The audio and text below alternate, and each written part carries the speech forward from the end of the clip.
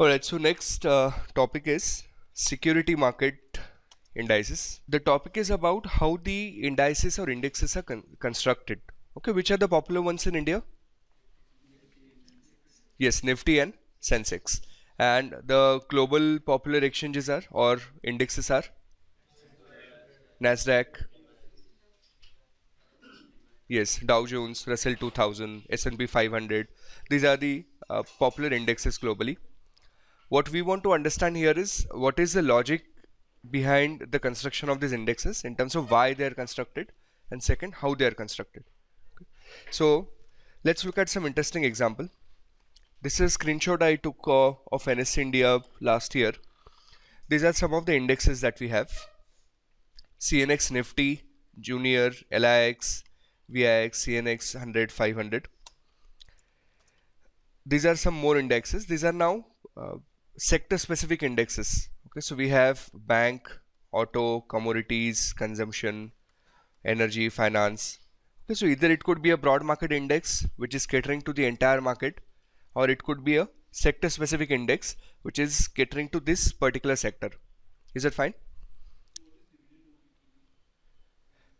Dividend opportunity is uh, picking up.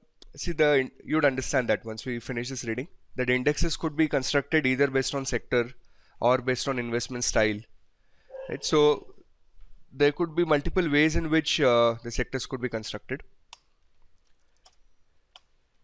A security market index represents the performance of an asset class security security market or segment of market. The performance of the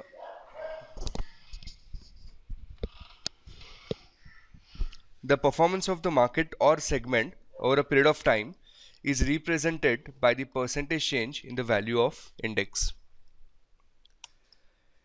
Now these are different ways in which you can construct an indices. So I want you to make uh, one big flowchart with me. Okay, this this flowchart in a way would summarize the entire reading and if you know this flowchart well you should be able to answer all of the questions from this reading. So security index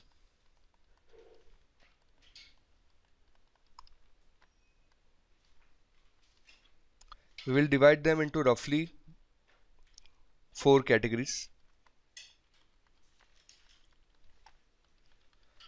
The first one is price weighted index. Second one is equal weighted index.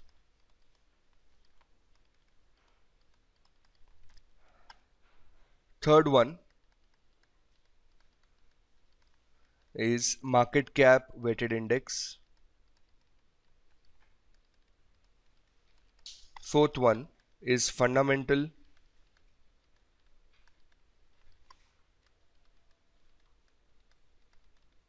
Weighted index.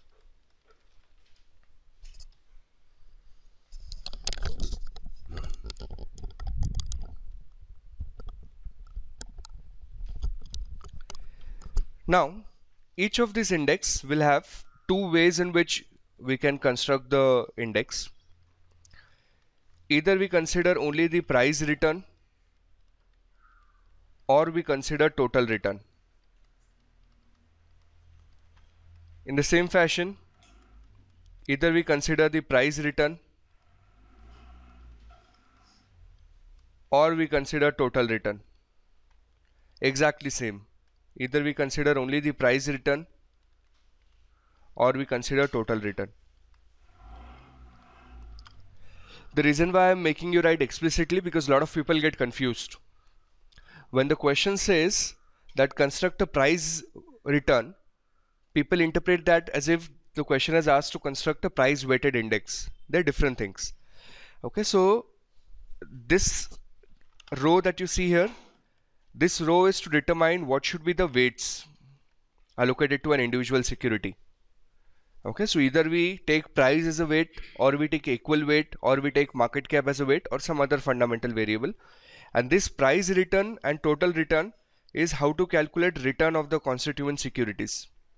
Either we take only the capital appreciation or we take capital appreciation as well as dividend received okay so the methodology in which you would construct these indexes okay I'm writing a common methodology for both of them.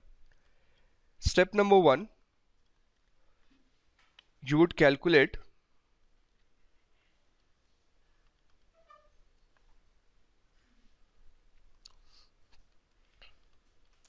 an average of price. Step number one would be to calculate an average of price and step number two calculate percentage increase or decrease in price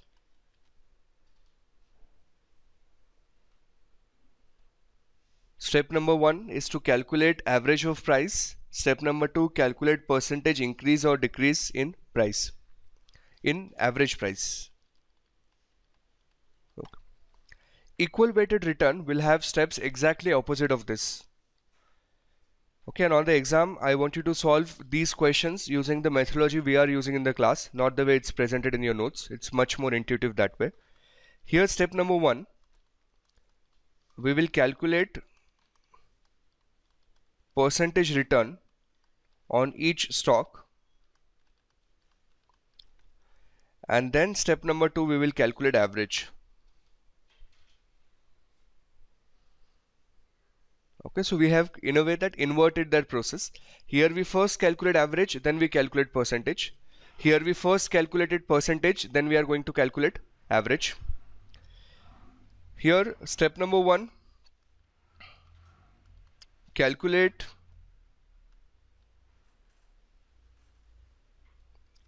market cap at beginning and end. And step number two calculate percentage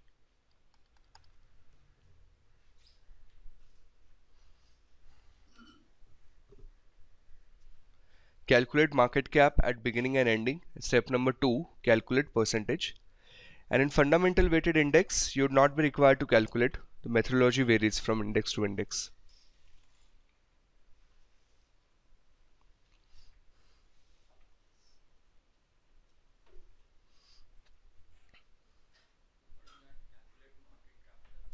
Market cap at beginning and end and then step number two calculate percentage increase or decrease.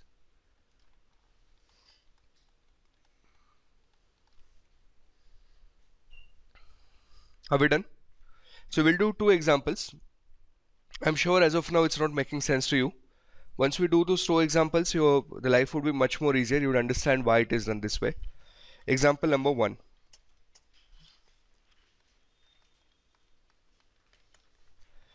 Let us say our index is made of three constituent securities. Security A, Security B, Security C.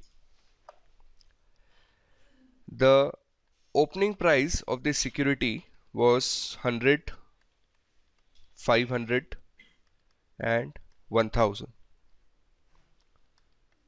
the closing price of this security was 130 600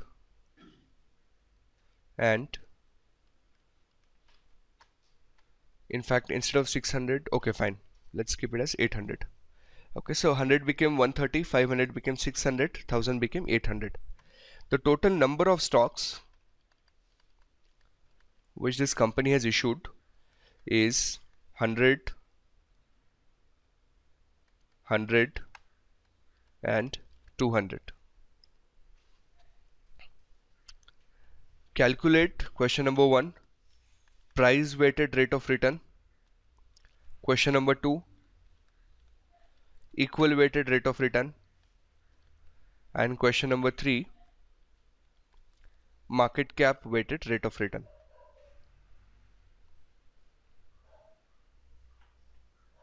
Is it fine? And these are weights. The return that we are going to use in this case is price return why? Because we do not have the dividend data right? There is a possibility these stocks have also paid dividend. Had we also considered dividend as a part of the return, it becomes a total return. but if you only consider the price appreciation then it is a price return. So let me calculate price for you. Now understand the name itself will tell you that weight weight of constituent security has to be the price of that security correct? So do you agree with the fact that security C should have a substantially higher weight? Correct? And prima facie if you'd observe A has increased B has also increased but C has decreased. In terms of percentage A has increased by 30% in terms of percentage B has increased by 20% and C has decreased by 20%. But because the weight of C is so large that there is a possibility that index might show a negative return. Correct? So now read your two steps. Step number one, take an average of all of them and then step number two, calculate percentage. So let me first add up all the three. So this is 100 plus 500, 600 plus 1000, 1600 this is 730 this is 1530 now 1600 divided by 3 how much would be the average? 533.33 and 800 divided by sorry 1530 divided by 3 how much would be the average? 510 so this was your step number one. Step number two, from 533, it has decreased to 510. What is the percentage decrease?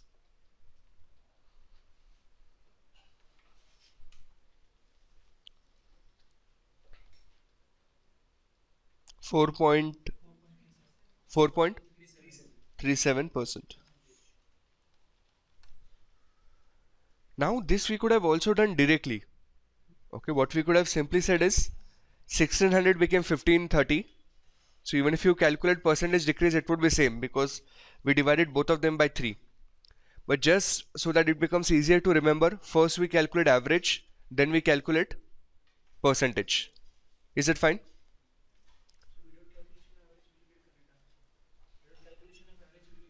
Yes even if you don't calculate even if you don't say divided by 3 if you just say 1600 became 1530, you would get the correct answer. Now, let us look at equal weighted index. In equal weighted index, first we calculate in equal weighted index, first we calculate percentage. So stock A has earned a return of 30%. Stock B has earned a return of 20%.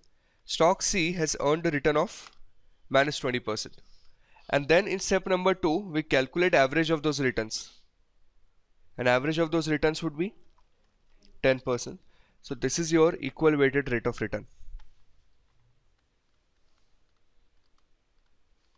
Is that easy? In price weighted you calculate average then you calculate percentage. In equal weighted you calculated percentage then you calculate average. Now let us understand why. Okay, why it's it's behaving like this. In price weighted how you can think of it is you have purchased one stock each. In price weighted you have purchased one stock each. So originally you made investment of how much? 1600 but security C was what portion of your investment? It was 1000 divided by 1600 are you following this? That means the weight of that security the price of that security is actually the weight of that security समझ में आ रहा है ना मैं क्या कह रहा हूं now since your 1600 in total became 1530 therefore your portfolio has lost by 4.37 percent ठीक है this is the meaning now in equal weighted you have invested I'm just creating a hypothetical scenario you've invested 100 rupee in each share following the difference equal weight that means we invest 100 rupee in security A we invest 100 rupee in security B we invest 100 rupee in security C. Now I'm assuming fungibility meaning of which is I'm assuming that we can buy 20% of stock B or we can take a LCM of all these values and we make sure that we invest same amount in all the security. If you invest same amount in all the security security A grew by 30% B grew by 20% C minus 20% therefore on average your portfolio has earned 10% that is the meaning of equal weighted rate of return. Is that fine? Now the third one market cap. Market cap is simple. You calculate market cap at the beginning. 100 into 100 is how much? 10,000 then 500 into 100 is how much? 50,000 and 1000 into 200 is how much? That would be 2 lakh. So total would be 2 lakh 60,000 130 into 100 would be 1 lakh sorry 13,000 600 into 100 would be 60,000 am I doing it right? Yes. 60,000 and 800 into 200 would give us 1 lakh 60,000 so that is 220 233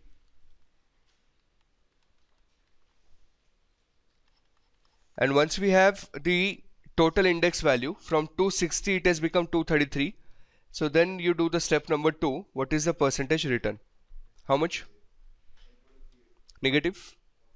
No no. 260 became 233 negative 10.30 percent that is your market cap weighted index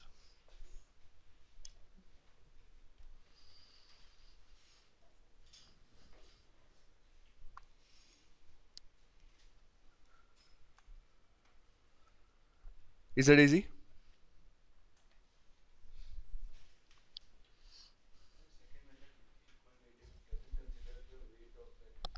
No, it assumes that you're investing same amount in each of the stock, equal weight for all the securities.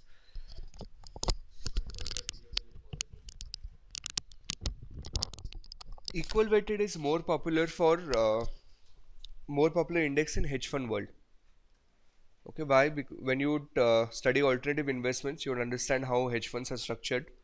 And once you understand how hedge funds are structured you would appreciate that why uh, equal weighted mo makes more sense for them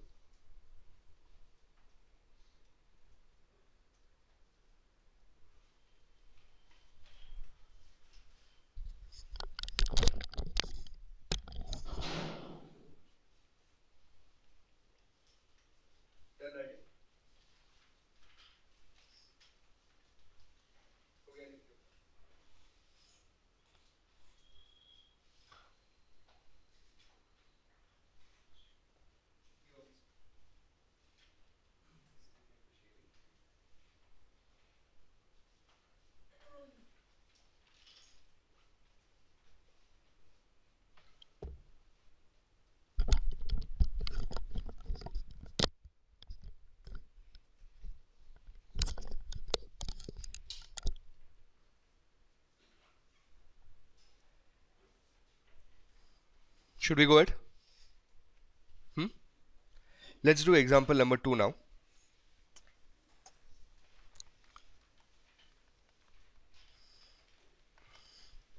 So before the exams, what I want you to do is just revise these two examples. You should be fine. They would cover every uh, possible type of numerical that could be tested from this question.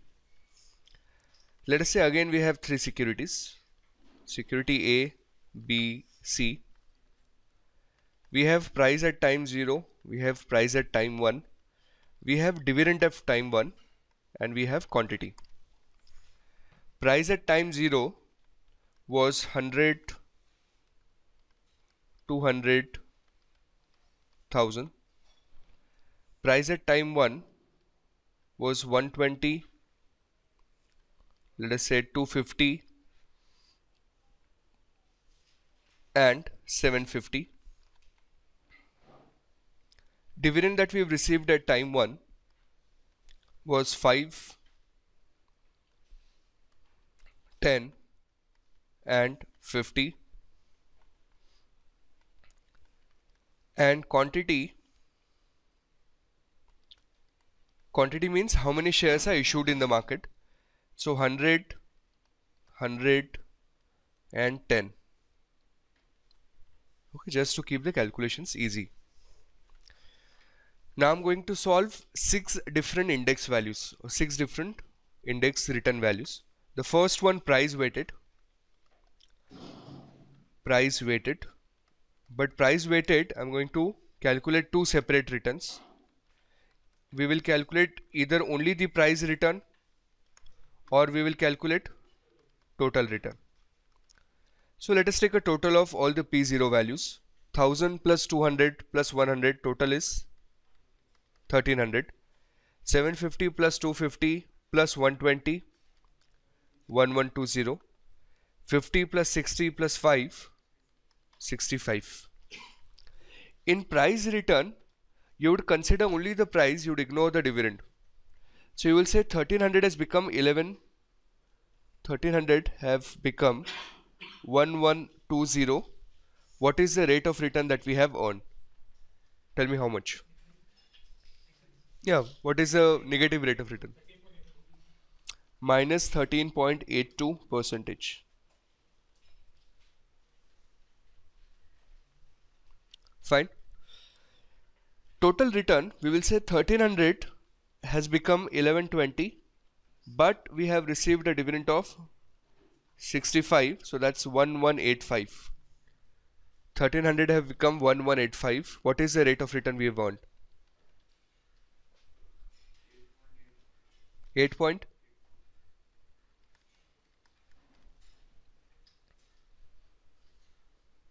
Negative.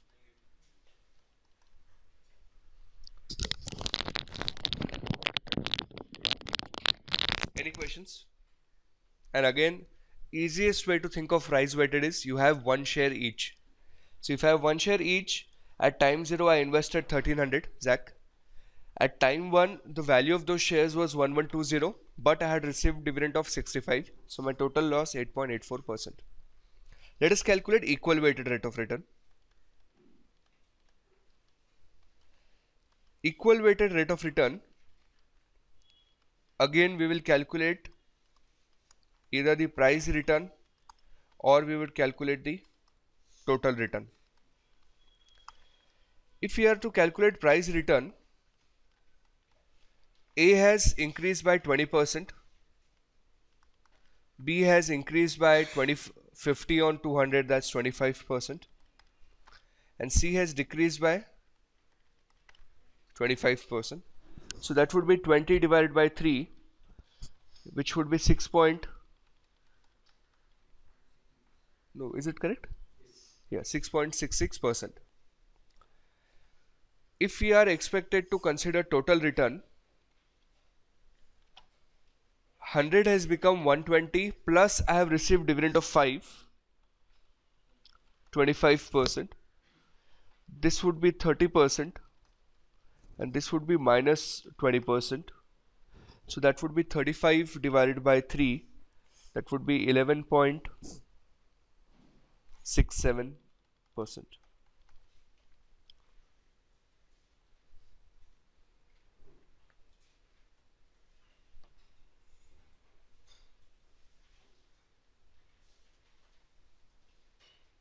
then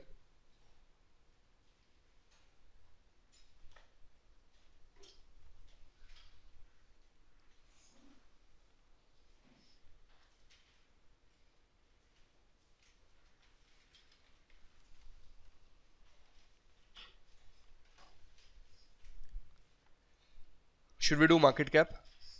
Any questions you want to ask up to this?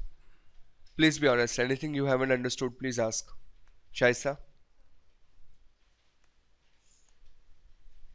Huh, Kashyap, have you understood this? Yes? Okay. Then market cap. So let me calculate opening market cap, closing market cap, and let me also calculate total dividend. So opening market cap 100 into 100 10,000 200 into 10 no no 200 into 100 that's 20,000 1000 into 10 that's 10,000 120 into 100 12,000 250 into 100 25,000 750 into 10 7,500 total 30 40,000